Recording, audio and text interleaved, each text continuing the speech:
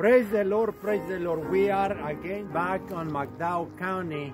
Uh, we've been in McDowell County uh, doing the Lord's work. But this time we are back again here, knocking on doors and talking to people and see the need that people have in this area. And we have discovered a group of people that need help in their houses. They need some repairs. They need some things done in their homes. They don't have the ability, they don't have the money, they don't have the power to do it.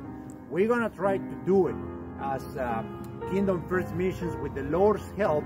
And if you feel led to help, you might not be able to come to West Virginia. You might not have the skills to do the labor part, but we're to need resources. We're to need materials. We're to need tools. And uh, we might have a group of Christian brothers and sisters that might help us, but th there's so much help needed over here. So here we are, Kingdom First Missions, again in uh, McDowell, West Virginia, um, doing the Lord's work. And uh, we want to see if you want to partner with us, if you want to be part of this of this group of Christians, brothers and sisters who are willing to come and help others. So that's what we're doing today, right here in McDowell, West Virginia. Thank you, brothers and sisters, for your help. We really appreciate it, and we'll give all the glory to God because without Him we can do nothing.